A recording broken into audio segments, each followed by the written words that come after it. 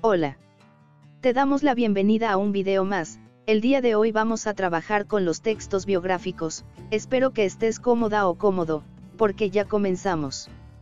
Un texto biográfico es una narración que trata sobre la vida de una persona en particular. De acuerdo a la clasificación de las tipologías textuales y en término formal, es un texto con función informativa y de trama narrativa. Es decir, que en este tipo de textos, la intención de quien escribe es informar y la forma en la que presenta el contenido es mediante la narración. Pero el uso de textos biográficos puede tener otras funciones, dependiendo al género al que se aplique. Este tipo de textos consiste en adaptaciones del género literario al que se le agregan algunas de las características del género periodístico. El primero se utiliza principalmente en las revistas y es un relato de vida de la persona. El sketch no profundiza tanto como el perfil, suele ser una breve reseña de la vida del individuo y se usa principalmente en los periódicos.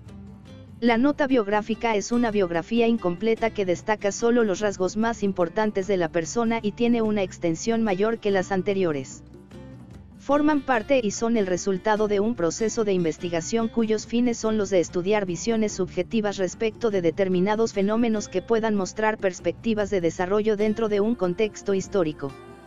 En este tipo de textos se combinan elementos documentales, tanto personales como sociales, para echar luz acerca de una realidad social a través de una verdad personal. Con los textos biográficos se intenta contextualizar vivencias personales dentro de un contexto específico desde las que puedan configurarse perfiles sociales y culturales más amplios.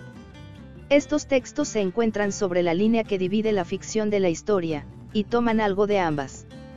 Es decir, que son, a la vez, documento y arte. Por tanto, en este contexto, los textos biográficos no pueden considerarse únicamente como un mero recurso de información, sino que añaden la estética literaria, la forma de la ficción novelada o del relato de viajes y aventuras, a la estructura del texto biográfico. Cuando se escribe una biografía primero se debe elegir un personaje y justificar esa elección, siempre que existe esta libertad debemos sustentar el motivo por el cual fue este y no aquel otro. La elección siempre estará sujeta a nuestra formación, creencias o afinidades. Lo siguiente, aunque parezca lógico no siempre es tomado en cuenta y es narrar la historia de forma cronológica, si así lo crees necesario puedes hacer una línea de tiempo en la que poco a poco y de manera ordenada escribas los principales acontecimientos que tuvieron relevancia para el personaje que hayas elegido. En esta parte será necesario que te apoyes de varias fuentes de información, pueden ser revistas, periódicos, libros, foros, blogs, o cualquier medio que trate sobre la vida y obra de la persona.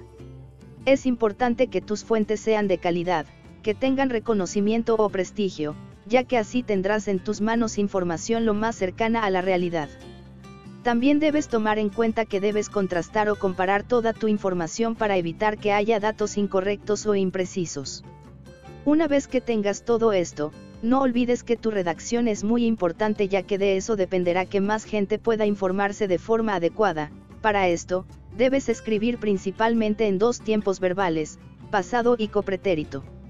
El primero te ayudará con la narración de los eventos pasados y el segundo simplemente te ayudará a describir situaciones o personajes que tuvieron relevancia en la vida del personaje.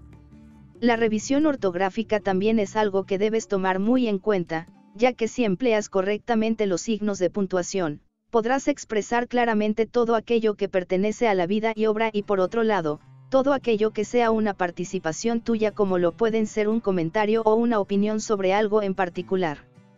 Recuerda que todo dependerá del contexto en el que se escriba la biografía.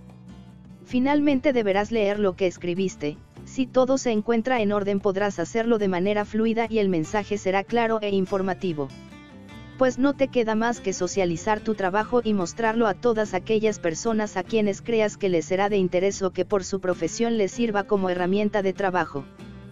De esta manera es como terminamos el video de hoy, pero te invitamos a que nos sigas en el siguiente ya que tendremos más temas que seguramente te ayudarán con tus clases en línea.